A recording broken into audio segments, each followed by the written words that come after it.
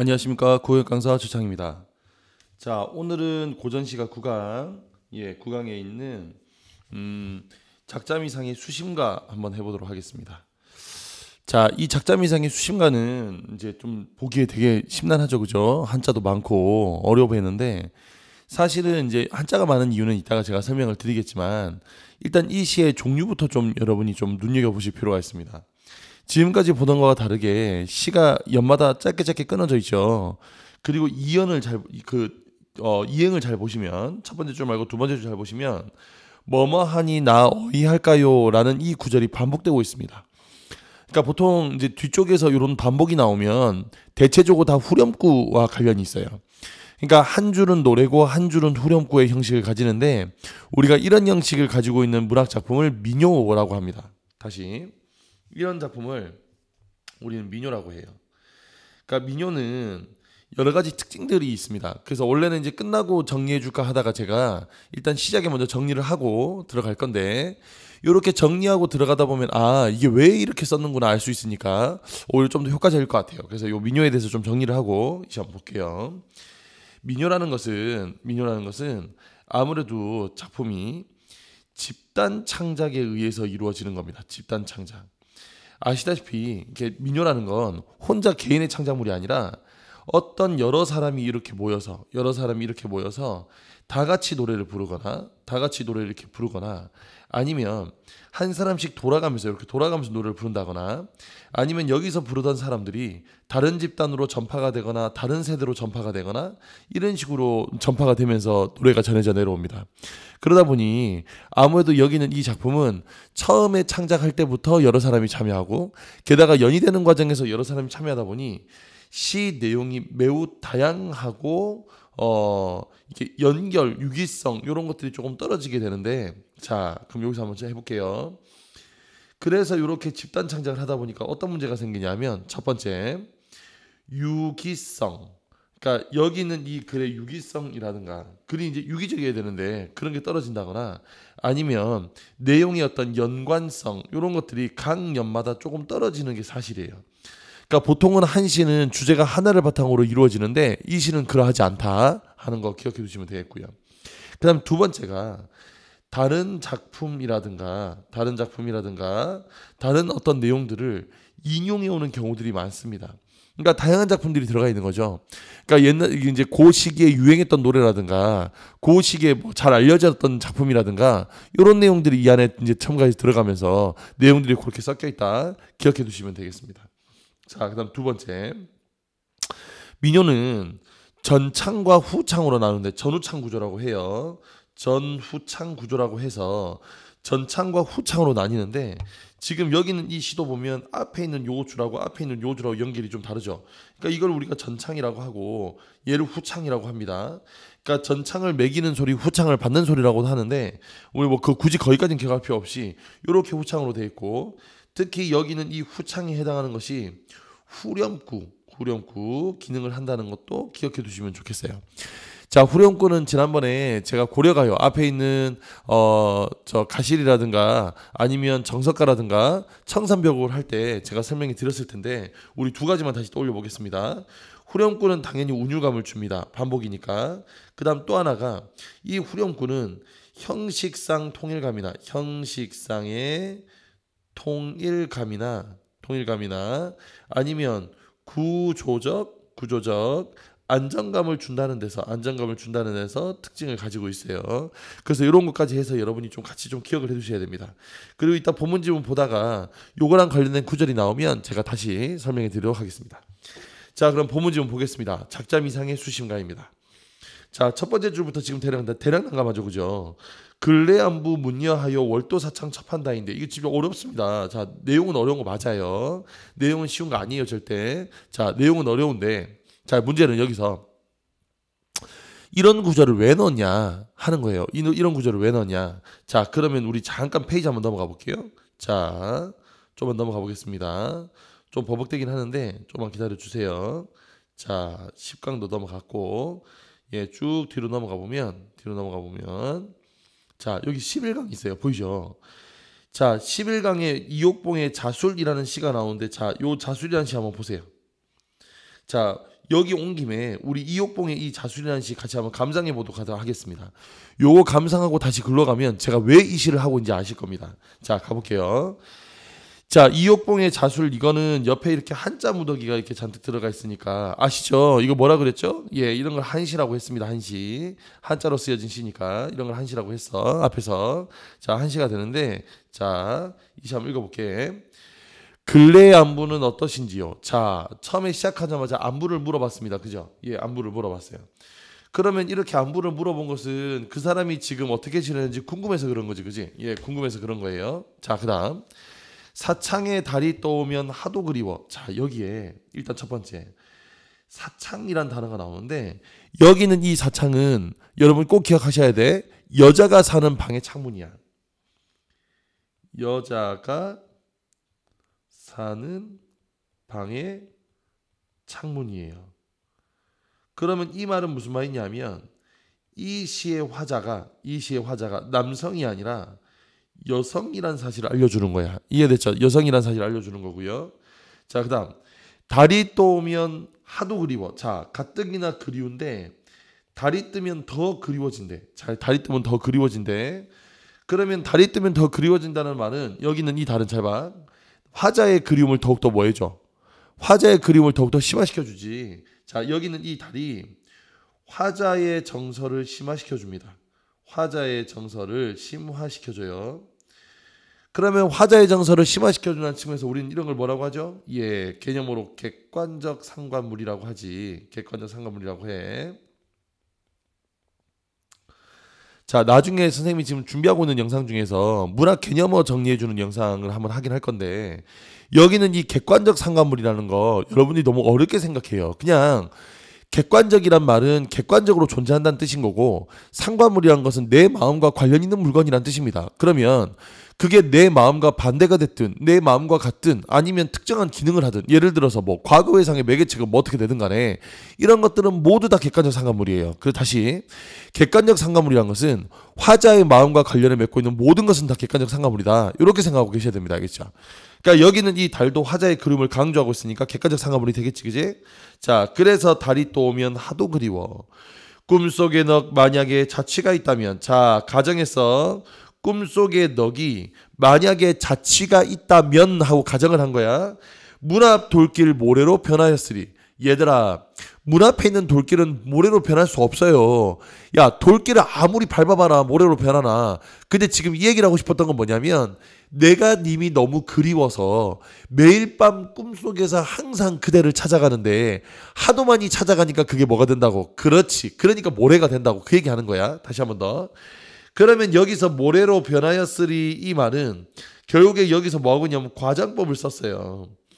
그러면 이 과장법을 통해서 하고 싶었던 이야기 결국 내가 님을 꿈속에서나마 만나고 만나려고 매일 밤 밤만에 꿈 꿈마다 만나고 님을 찾아간다는 얘기인 거야 뻔질나게 그래서 임에 대한 화자의 그리움을 임에 대한 화자의 그리움을 강조해 주고 있다 이렇게 기억해 두시면 되겠습니다. 임에 대한 화자의 그리움을 강조해 주고 있다. 됐죠? 그래서 이렇게 써놓은 시야 이옥봉의 자술이란 시가 그런데 왜 여기서 갑자기 이옥봉의 자술이란 시를 했냐? 자, 이거 다시 앞으로 넘겨보시면 이해가 되실 겁니다. 자, 가볼게. 자, 앞으로 한번 다시 넘어가 볼게요. 자, 우리 앞으로 지금 넘어가고 있는 중입니다. 자, 앞으로 넘어가서 한 번 더. 짜잔. 자, 봐봐. 근래안부 문여하여 월떠사 창 첩한다인데 약사몽원으로 행류적이면 문정성로 반성사라구나. 이거 어디 온 거야? 그래, 금방 우리 봤던 거야. 옆에 해석법 나오지. 근래 안부가 어떤지 묻습니다. 근래 안부가 어떤지 묻습니다. 그 다음, 월도 사창 첩한다인데, 달이 사창에 뜨면 첩에 한이 많은데, 그래, 아까 전에 우리 했던 거야. 그래서, 잘 들어봐. 지금 여기는 이 시는, 여기는 1년과 2년, 여기 요, 요, 요두 구절은, 음, 여기는 두 구절은, 아까 전에 우리가 봤던 이옥봉이라는 사람이 쓴, 자, 이옥봉이라는 사람이 쓴, 자, 우리 11강에 있어서, 어, 제목이 자술이라는 시. 여기는 이 자술이라는 시를 인용해 주고 있다. 다시 한 번 더. 이옥봉의 자술이라는 시를 인용하고 있어요. 즉 그 말은 뭐냐면 그 말은 뭐냐면 다른 작품을 다른 작품을 여기다가 차용했어. 차용. 차용. 빌려왔는데 자, 아까 얘기했죠. 이게 뭐라고? 이게 그래. 이게 민요의 특성이라고. 그러니까 당시에 이 시가 얼마나 유행을 했으면 민중들이 이 노래를 기억했다가 노래에 넣었을까 이 생각을 해야 돼. 무슨 말인지 이해됐어? 그래서 여기는 이옥봉의 자술은 당시에 유명했던 작품이고 여기에 지금 민요로 어 미, 여기 민요로 차용돼서 들어왔다. 기억해 두시면 되겠습니다. 자 그리고 이제 여, 여기는 이제 감상을 하면 근래 안부가 어떤지 묻습니다. 자 다시 자 여기다 하면 근래의 글자 너무 못생겼네. 다시. 음, 글자가 오늘 잘 안 써지네요. 근래 안부를 자 물을 문자 쓰고 있으니까 묻습니다. 이렇게 돼. 묻습니다. 월도 사창 첩한다인데 자 월도 사창 첩한다는 옆에 나오죠. 첩은 달빛 흐르는 창가에 기대어 한이 많습니다. 그래. 그러면 한이 많다 할 때 여기 있는 이 첩은 자 한자 잘 보시면 이렇게 여자 여자가 들어가 있는 거 보이죠. 그래서 여기는 이 첩은 여성이고 이게 바로 여기는 이 시의 화자입니다. 여성이에요. 여성. 자, 그럼 다시 한번 더. 근래 안부를 묻습니다. 달이 뜨는 사창에서 달이 뜨는 사창에서 첩은 한이 많습니다. 생각을 하니 임의 화용이 여기서 화용이란 건 얼굴이 되겠어요. 생각을 하니 임의 얼굴이 그리워 나 어이할까요? 그랬어. 그러면 임에 대한 그림이 주제가 되겠죠, 그죠? 근데 이걸 뭐라고 하냐면 임에 대한 그림을 주제로 한다. 이걸 뭐라고 하냐면 잘 들어봐. 여기는 이거를 상사라고 해. 뒤에 아마 3번 문제 펴보시면 거기는 그 3번 문제. 자, 다시 한 번 더. 자, 3번 문제 펴보시면 거기는 그 3번 문제. 3번 문제. 이 시의 주제는 어, 상사와 인생무상이 줄을 이루고 있다는 얘기가 나올 겁니다. 보이죠 지금? 그래서 상사란 건 뭐냐면 우리 상사란 말 많이 쓰지 뒤에다 병이란 말 붙이잖아 상사병 뭐 하는 거? 그렇죠 그리워서 생기는 병이야 그래서 지금 여기는 이 1년은 여기는 1년은 뒤에 사실은 이제 2년, 3년, 4년 쭉 나오는데 1년, 2년, 3년, 4년, 아 4년이 아니 3년까지 1년, 2년, 3년까지 계속 임에 대한 그리움을 노래하고 있는 거라고 이해가 됐어? 임에 대한 그리움을 노래하고 있는 거라고 자 그래서 여기까지는 뭐가 되냐면 상사. 나중에 보시면 알겠지만 여기도 상사. 나중에 보시면 알겠지만 여기도 상사가 됩니다. 이해가 됐죠? 그래서 상사는 우리 그림이라고 기억하고 있자 그랬어. 그래서 임에 대한 그림이 됩니다. 자, 이형 갑니다. 약사몽원으로 행류적이면 자, 약사몽원. 만약 나의 꿈속에 자취가 있다면 문전성노가 반상사라구나. 문 앞에 돌길이 반은 모래가 되었겠구나. 그래 아까 똑같은 거야. 그래서 임에 대한 그림을 강조하는데 생각을 하니 임의 화용이 그리워 나 어이할 거야 하니까 똑같이 그림이겠지 그지? 그래서 상사가 되겠습니다. 알겠죠 상사가. 자 옆에 한 뜻이 있으니까 굳이 쓰지 않을게요. 자 그다음. 강산 불변 재봉춘이요. 강산은 불변하고 봉춘 다시금 봄을 만났는데 자 봄을 만났어. 춘의 동그라미. 자 봄을 만났어. 자 얘가 계절이 봄이란 걸 이야기하는 거야 임은 일거의 무소식이로 하나. 저기서 일거라는 건 뭐냐면 한 번 가다. 거자가 가다 거자입니다. 그래서 임은 한 번 가고 무소식이구나 그랬어. 그러면 자 임에다가 세모 치고 그러면 자연스럽게 여기는 이 봄과 임이 뭐 한다고 이렇게. 그렇지 대비가 되겠지 그지. 그래서 다, 른 사람은 다 오고 봄도 오는데 왜 님은 오지 않냐고 이렇게 밝히고 있는 겁니다. 생각을 하니 세월 가는 거 서러워 나 어이할까요? 자, 생각을 하니 세월 가는 게 서럽대. 그래서 나 어떡하겠냐 이거야. 그러면 지금 이거는 다시 한 번 더. 여기서 지금 주제가 원래는 상사인데 슬그머니 슬그머니 뭐가 나오냐면 인생무상이 나오고 있죠. 그죠? 세상 사는 거 서럽다는 게 인생무상이니까. 그러니까 자연스럽게 그 뒤에 시의 주제가 뭐 한다고 인생무상으로 연결되는 거야. 자, 그다음. 인생 일장은 춘몽이 되고 우리가 알죠. 은자 빼고 나면 일장 춘몽 기억나지? 일장 춘몽. 인생 일장은 춘몽이 되고 세상 공명은 꿈밖이로구나. 차마 진청코 세월 가는 거 서러워 나 어이할까요? 그랬어. 그럼 여기서 뭐 한다? 인생 무상이 된다. 인생 무상이 된다. 이렇게 이해가 되겠네. 자, 그다음 이어서 합니다. 추야 공산 다 저문 날에 모란 황국이 다 피었구나. 그러면 여기서 추야 추야 공산이란 건 추야 공산할 때 여기는 이 추자는 뭐가 돼? 그렇지 가을이 되는 거야. 가을이 이 가을 다 저문 날에 모란 황국이 다 피었구나. 자 모란과 황국은 다 피었대요. 이게 모란꽃하고 국한데 사실 모란꽃은 여기 들어가면 안 돼. 왜냐하면 여기는 이 모란꽃은 생각해봐 언제 피는 거. 여기서 생각해보면 모란꽃은 지금 이 가을에 피는 것이 아닙니다. 그러니까 가을에 피는 것이 아닌데 이게 모란이 피고 황국이 피었다 이렇게 되는 거니까 여기는 이 사이에 시간의 흐름이 들어가 있는 거야.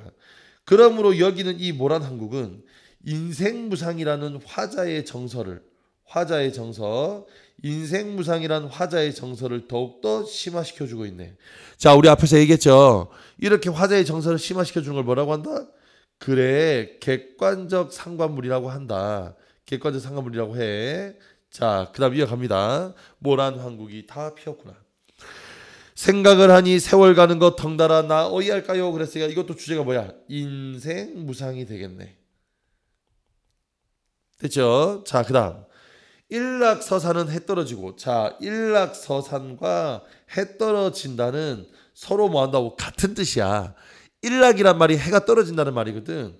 그래서 얘 지금 뭐 하고 있냐면 이걸 우리가 잉여적 표현이라 그래. 잉여적 표현이라고 합니다. 이해가 됐죠? 월출 동령 달이 솟아온다 그랬어. 그러면 월출 동령의 월출도 달 솟아온다고 뭐 한다고 서로 같은 뜻인 거야. 그런 마찬가지로 이것도 잉여적 표현이 되겠지, 그지? 잉여적 표현이 됩니다. 자, 그런데 여기서 중요한 게 있어. 여기는 해에다가 네모 치고 달에다 네모 쳐 볼까? 그래서 얘를 빼볼게. 아이고.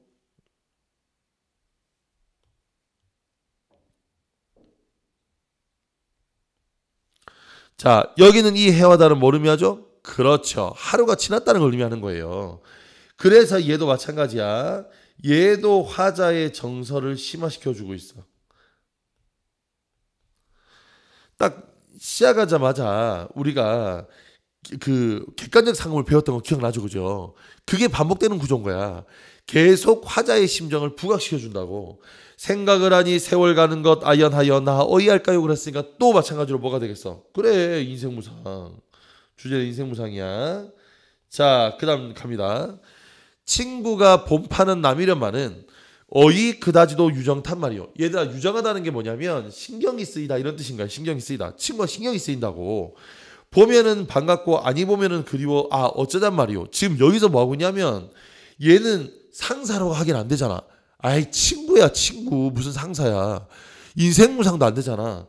그래서 여기는 이 시의 주제는 친구에 대한 그리움인데 자 그러면 우리가 아까 전에 보기에서 봤던 그 주제 인생 무상이랄까 아니면 상사랄까 하는 주제에서 뭐 한다고 벗어나 있는 거예요. 그래서 얘는 지금 뭐 하고 있냐면 주제에서 벗어나 있는 거야. 자, 이게 포인트라는 거 알겠죠? 그죠? 그러면 주제에서 이렇게 벗어나 있는 게 들어올 수 있는 이유는 아까 얘기했잖아. 이것이 개인 참작물이 아니라 집단 창작이다 보니까 집단 창작 보니까 그 당시에 본인이 꽂혔던 어떤 문제, 본인이 어떤 생각하고 있는 어떤 염두에 두고 있는 중요하다고 생각하는 그런 문제 그런 문제를 가지고 이렇게 제기하고 있다는 얘기예요. 무슨 말인지 알겠죠? 자, 그다음 갑니다. 개변 양류는 사사록이요. 자, 여기서 개변 양류는 가볼게요. 개변은 시냇가가 되겠지, 시냇가. 시냇가의 양류는 여기서 양류란 것은 버드나무 여기서 버드나무입니다. 버드나무.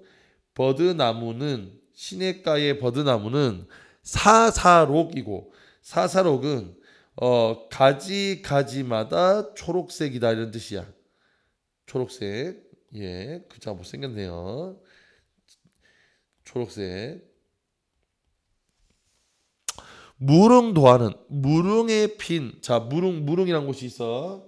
어, 우리 무릉도원 무릉도원 할 때 그 무릉이야. 그래서 무릉이라는 곳에 핀 복숭아 꽃은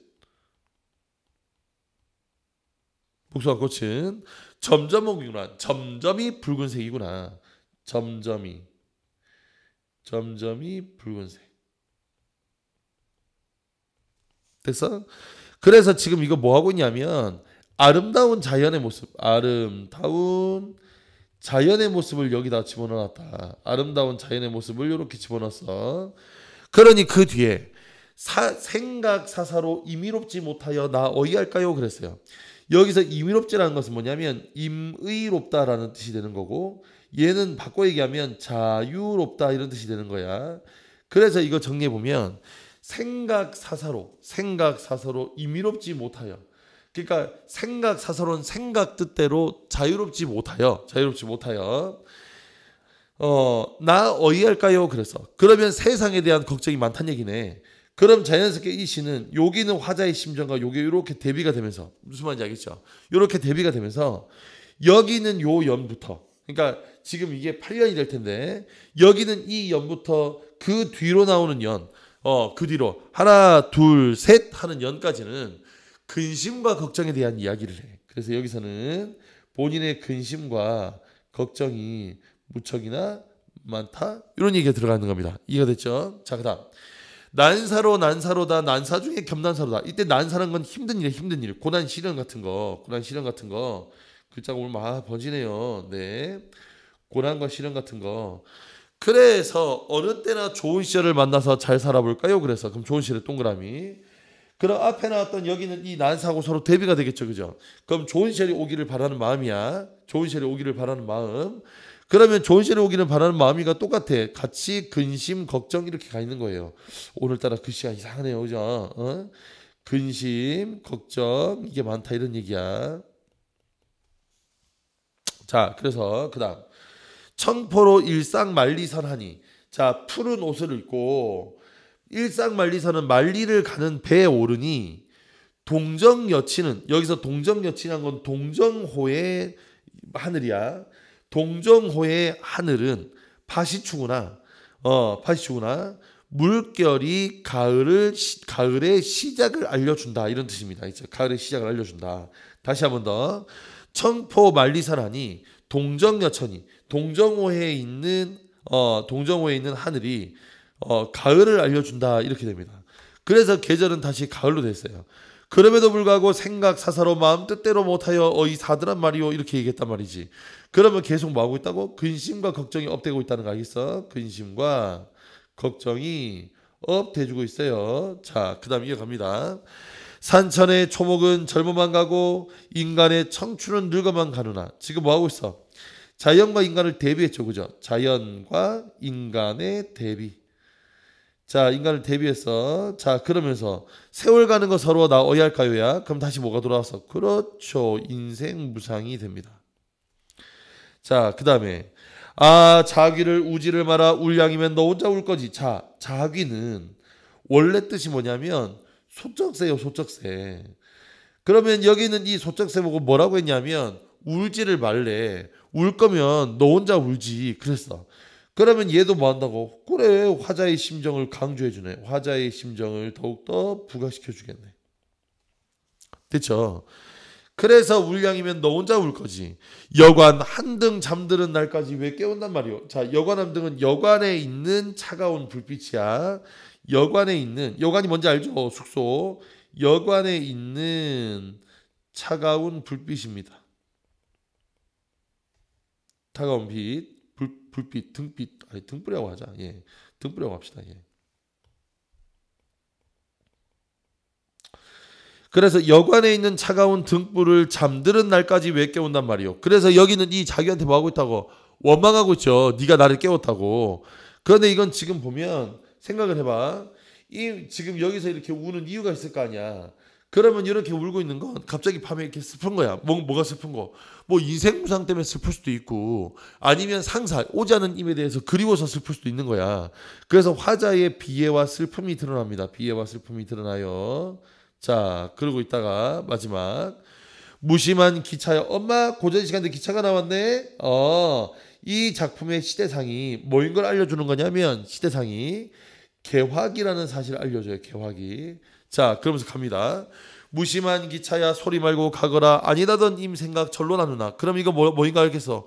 그래 이것도 상사야 상사 상사인데 자 여기서 하나 다른 거 청춘 홍안을 여기서 청춘 홍안은 청춘 시절입니다. 젊은 시절을 젊은 시절을 애연타 말고 여기서 애연이란 건 슬프단 얘기예요. 슬프단 말고 마음대로 놀잔다 그랬어. 그런 마음대로 놀잔다 이것이 결국 앞에 놨던 모든 문제를 해결하는 뭐 한다고? 그렇지 나름대로 해결책을 제시놓은 거라고. 그래서 여기는 이 마음대로 놀자라는 것, 놀자라는 것은 이런 거 이런 다 슬프다고 생각하지 말고 놀자는 것은 결국에 지금 이런 주어진 현실에서 이런 주어진 현실 속에서 화자가 어떤 삶의 태도를 가져야 되는지를 이야기하는 것이고 그 삶의 태도가 결국 놀이를 통해서 근심을 해소하기를 근심 해소의 방법이야. 됐죠? 이렇게 된다는 거 기억해 두시면 되겠습니다. 자, 작자명의 임상의 수심가예요. 이건 아까 말씀드렸던 것처럼 민요인데, 자, 민요인데 꼭 기억할 것. 주제는 두 가지다. 상사와 플러스 상사. 임에 대한 그리움과 함께 인생 무상이란 주제를 그리고 있던 작품이었습니다. 그래서 각 연마다 주제가 달라지니까 그 주제 달라진 부분 잘 체크해 주셔야 되고요.